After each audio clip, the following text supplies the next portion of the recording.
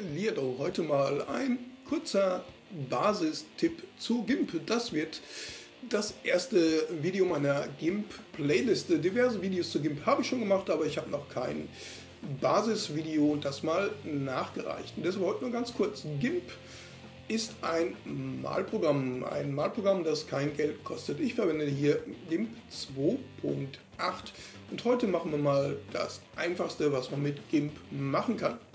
Ihr werdet feststellen, GIMP, wenn es startet, hat mehrere Fenster. Das stört in der Regel, das stört in der Regel, weil es kann passieren, dass man versehentlich eins der Fenster schließt und dann sucht man verzweifelt, äh, oh, wie habe ich denn dieses Fenster geschlossen, wo ist das denn geblieben? Findet man unter Fenster kürzlich geschlossene Docs Werkzeugkasten. Da das auf die Dauer stört, mich zumindest, äh, geht ihr am besten auf Fenster, Einzelfenster-Modus. Dann verhält sich GIMP wie ein gewohntes Programm, sodass alles in einem Fenster ist. GIMP gibt es übrigens auch für Windows, das hier nochmal erwähnt. Nun, einfachster Fall mit GIMP-Datei. Öffnen. Ihr habt bereits ein Bild, ne? ein Bild, zum Beispiel wollt ihr auf äh, Autoscout Mobile oder eBay ein Auto verkaufen, eBay wie auch immer. Unter Bilder habt ihr bereits ein entsprechendes Bild und noch ein Bild. Einfachster Fall mit GIMP 2.8. Meistens wollt ihr, dass das Nummernschild nicht mehr zu sehen ist. Gut, Zunächst Hinweis, reinzoomen könnt ihr mit gedrückter Steuerungstaste. Steuerungstaste ist die, wo STRG drauf steht. Steuerungstaste festhalten, Mausrollrad nach vorne drehen. Dann könnt ihr euch reinzoomen, Mausrollrad nach hinten rauszoomen. Steuerungstaste immer dabei festhalten. Gut, damit ihr den Bereich seht, den ihr bearbeiten wollt. Einfachster Fall, ja, einfachster Fall. Ihr wollt das hier weghaben da soll nur noch weiß sein, euer Auto-Kennzeichen soll nicht zu sehen sein. Schaut mal hier dieses kleine Symbol in der Ecke, das ist die Vordergrund- und Hintergrundfarbe. Da klickt ihr mal drauf. In der Regel wollt ihr jetzt das Nummernschild weiß haben und ihr könnt hier eine Farbe aussuchen. Maus klicken, festhalten, seht ihr, wie sich die Farbe in aktuell verändert. FFF, ganz viel F, ist die hexadezimale Schreibweise der Farbe Weiß. Wir sehen jetzt also hier Vordergrundfarbe und Hintergrundfarbe ist jeweils Weiß. Hier oben haben wir das Auswahlwerkzeug, die rechteckige Auswahl. Einen rechteckigen Bereich auswählen, draufklicken.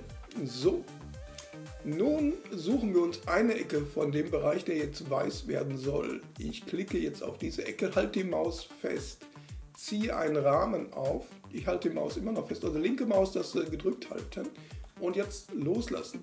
Jetzt sieht man da drumherum einen äh, gestrichelten Rahmen. Hier sieht man es vielleicht besser, einen gestrichelten Rahmen, der den Bereich markiert, den man gerne ausschneiden möchte. In den Ecken gibt es noch so kleine Kanten. Man kann diesen ausgewählten Bereich noch anpassen im Nachhinein, wenn man nicht so genau getroffen hat. Einfachster Fall, das Nummernschild ist so fotografiert, dass das Auto genau vor einem steht, sodass ein rechteckiger Bereich langt. Nun, jetzt braucht ihr nichts weiter tun, als die Entfernen-Taste auf eurer Tastatur zu drücken. Das ist ENTF. Manche Tastaturen steht auch Delete und dann ist das weg. So, wenn ihr den ausgewählten Bereich jetzt nicht mehr braucht, Auswahl nichts. Und schon Steuerungstaste drücken, Mausrollrad nach hinten. So sieht es dann aus. Jetzt könnt ihr euer Bild theoretisch schon hochladen zu, was weiß ich. Nun, wir müssen es noch speichern. Achtung, es gibt zwei Speicherformate. Wenn ich nur speichern sage, dann sagt es als Dateiende XCF. Das ist ein GIMP-Bild. Ne?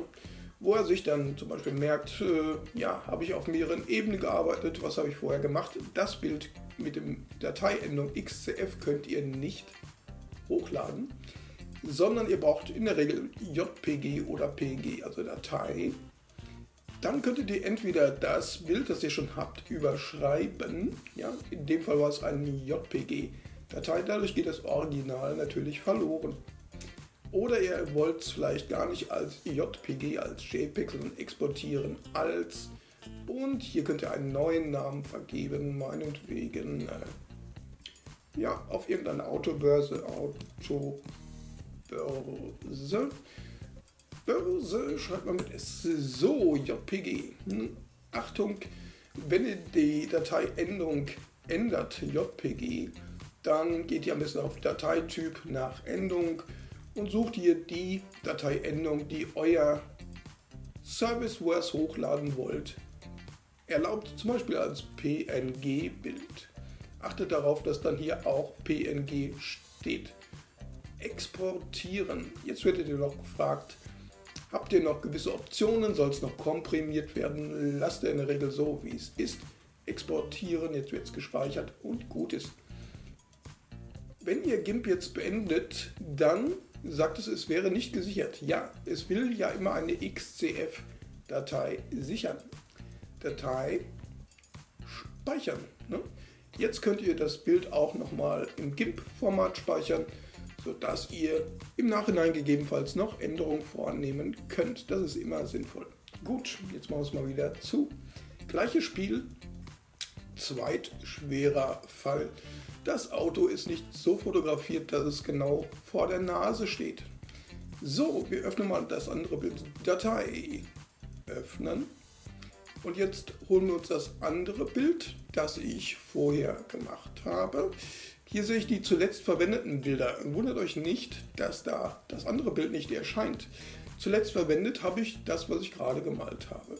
Ich muss also nochmal in Bilder gehen und gehe dann auf das zweite Bild. Dann kann ich hier in der Vorschau schön sehen, welches das ist. Das ist diesmal die Heckansicht vom Auto. Steuerungstaste Rollrad nach vorne. Hier sehen wir, diesmal ist das Nummernschild nicht so positioniert, dass ich mit der rechteckigen Auswahl das alles erwischen würde. Ich könnte mir die Mühe machen, viele kleine Rechtecke zu machen, will ich nicht. Auswahl nichts. Stattdessen können wir natürlich einen beliebigen Bereich auswählen. Freie Auswahl ist so ein Lasso-Symbol. Jetzt haben wir die Möglichkeit, einen Startpunkt anzuklicken. Klick. Ich bewege die Maus ohne zu klicken. Ja, einfach nur bewegen dahin, wo ich hinhaben will. Nächster Punkt, wieder klicken, klick. Der scheint auch immer ein schöner Punkt. Nächster Punkt, wieder schön klicken, klick. Nächster Punkt, wieder klicken, klick. Immer die linke Maustaste und den ersten Punkt wieder genau treffen, klick. Und jetzt hat man wieder so eine geriffelte Linie, die sich bewegt, um anzuzeigen, wo man jetzt ist. Auch hier wieder schauen, dass man weiß wählt die HTML-Notifikation. Gut, auf Webseiten benutzt man das hexadezimale Format ebenfalls, ist weiß oder benutzt die Vorschau-Farben. Ihr könnt auch Farben aus dem Bild euch herauspicken, um die gleiche Farbe zu haben wie schon zuvor im Bild. Sagt ihr, okay, jetzt ist die Vordergrundfarbe so gewählt, dass sie dazu passt. Ich drücke wieder Entfernen und das Ding ist entfernt. Auswahl nichts. So, das war der zweitschwerste Fall. Die anderen Funktionen in den folgenden Videos in meiner Playliste. Datei speichern unter, nein, exportieren alles. Und zwar sagen wir es diesmal äh, AAA, um den Original-Dateinamen nicht zu überschreiben, sondern mein schönes Bild mit Nummernschilden auch behalten zu können. Beenden, schließen. Hier verwerfe ich jetzt mal die XCF-Datei. Ich habe jetzt in meinem Ordner Bilder sowohl die Originalbilder noch, wo das Nummernschild drin war, als auch die retuschierten. Ne? Das haben wir AAA genannt und das hier Autobörse PNG. Das würdet ihr dann zum Beispiel hochladen zu eurem Autodealer. Ich hoffe, ihr mitgeholfen zu haben. Verbleibe mit freundlichen Grüßen und tschüss.